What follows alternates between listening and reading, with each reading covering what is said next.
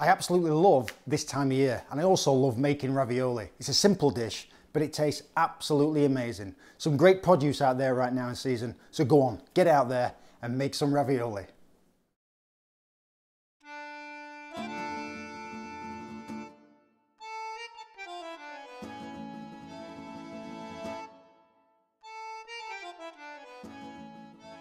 First add flour to a food processor and aerate 15 to 20 seconds. Add 2 large eggs and 1 egg yolk to a bowl and whisk. Add a good pinch of salt, turn on the food processor and add the eggs.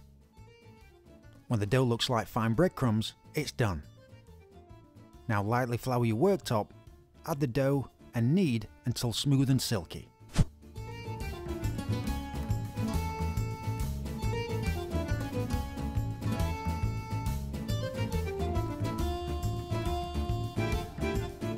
For the ravioli filling, top and tail the squash. Now cut in half and remove the seeds. Add squash to a sheet pan, followed by a drizzle of olive oil and a good pinch of salt.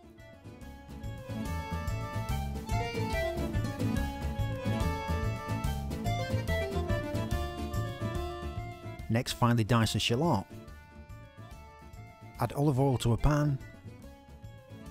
Add the shallots. Followed by garlic, star anise, cloves, and nutmeg. Now stir in a low heat for 5 minutes. After 5 minutes, remove star anise and cloves. When the squash is cooked, leave to cool. When cool, add squash to the pan and cook out 5 minutes. At the end, season to taste and add to a bowl.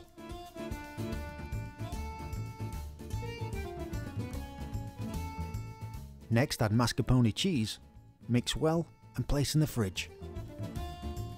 For the sage cream sauce, finely diced shallot, add olive oil to a pan, add the shallots, followed by garlic and fresh sage leaves.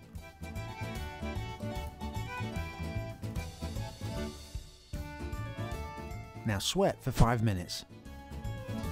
After 5 minutes add flour and cook out 3 to 4 minutes. Next add white wine and stock.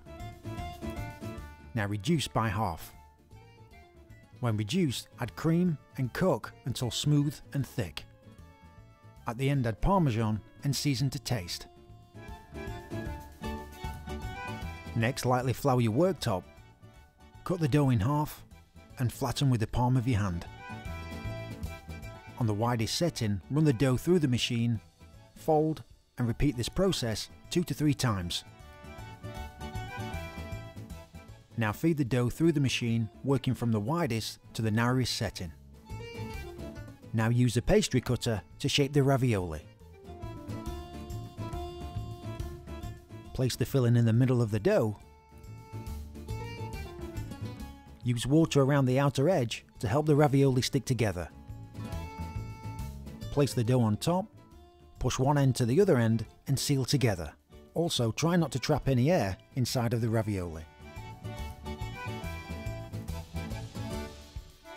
Add to salted boiling water and cook 3 to 4 minutes.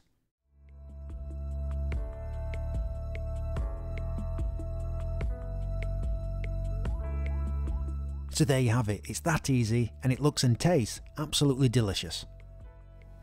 Let's tuck into this then. Hmm. Just lather it in that cream sauce. And look at that filling. Gorgeous. Hmm. It's a delicious little starter this, or a main, very rich, but classic four flavours that I know you'll love. Thanks guys.